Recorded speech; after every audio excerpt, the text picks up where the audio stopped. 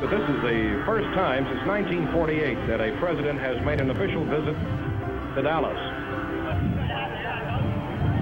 Here comes the big jet in. Here's a cheer going up now as a big jet lands with the United States of America on it. Oh, that's a beautiful ship, a 707, U.S. Air Force One. There it is. The President of the United States seal on the nose.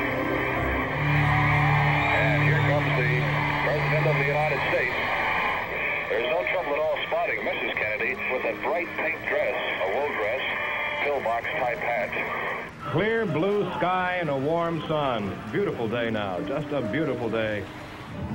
Boy, this is something.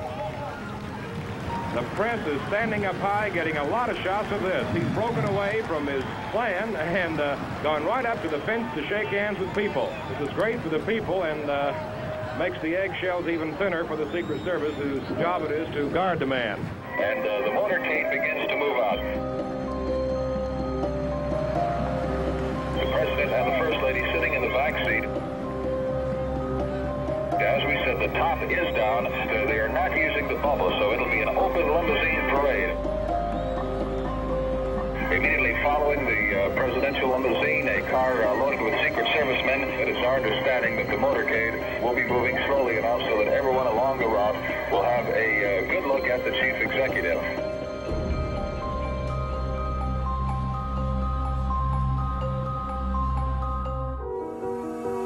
Thousands will be on hand for that motorcade now, which will be downtown Dallas. The president and his wife and party are going to be visible all through Dallas and here comes Jackie waving by, and Mr. Kennedy radiant in that pink outfit.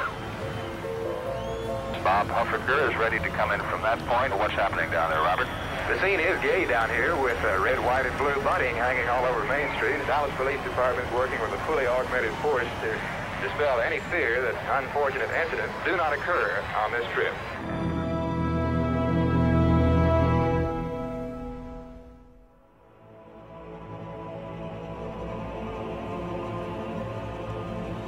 President's car is now turning onto Elm Street, and it will be only a matter of minutes before he arrives at the Trade Mart.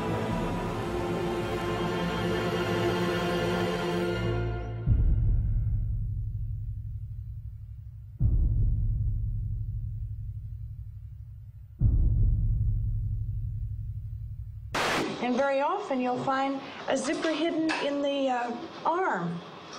And Good afternoon, ladies and gentlemen. You'll excuse the fact that I'm out of breath, but about 10 or 15 minutes ago, a tragic thing, from all indications at this point, has happened in the city of Dallas. Let me quote to you this. And I'll, you'll excuse me if I am out of breath. A bulletin, this is from the United Press, from Dallas. President Kennedy and Governor John Connally have been cut down by assassins' bullets in downtown Dallas. They were riding in an open automobile when the shots were fired. The president, his limp body carried in the arms of his wife, Jacqueline, has rushed to Parkland Hospital wife, Jackie Kennedy, was not hurt. She walked into the hospital at her husband's stretcher side.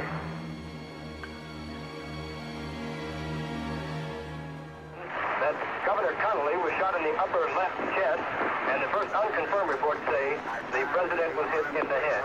That's an unconfirmed report that the president was hit in the head. Senator Ralph Yarborough burst into tears just a few moments ago. Senator Yarborough said, I saw a Secret Service man sitting on the rear of the presidential car and pounding the car with his hands in despair, anguish, and pain. I knew something horrible had happened.